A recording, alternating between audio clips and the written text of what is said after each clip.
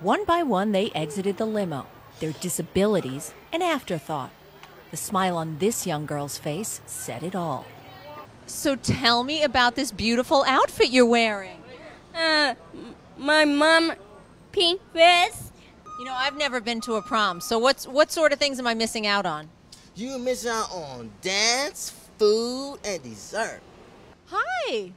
Hey, have you ever been to a prom before? Nope, this is actually my first prom that I've been to. You gonna dance? Oh, yeah, of course. Ed Lynch provided the limos and a place for the kids to get ready.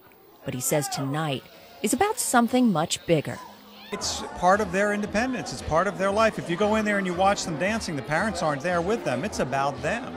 We may have staff there, maybe teachers there, but it's about them being independent. Yeah, kids tend to be really quiet and um, they're in the shadow.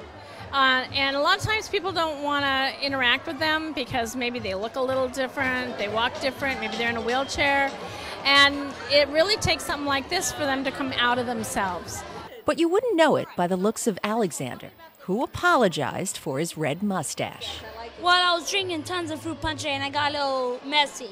I've never been to prom, so what sort of things go on tonight? All types of dancing, music, partying with my friends, all types of stuff. Stuff that the rest of us might take for granted. I mean, this is one thing they wait for every year. They eat, sleep, the day they won't eat or sleep the day before because of a prom.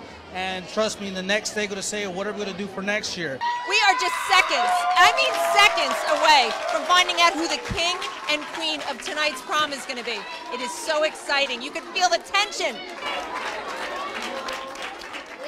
Moments later, we had the chance to speak to the queen. As you can imagine, it was a bit overwhelming for her. I was kind of scared and nervous. But soon, our lovely queen felt right at home. I, I, I like to thank the cameraman and Beth for cheering me on. While our queen was being congratulated by more of her adoring fans, the rest of the kids were glued to the dance floor. Living out a dream of being independent and normal, which is pretty tough when you're exceptional. For El Segundo TV, I'm Heather Armstrong.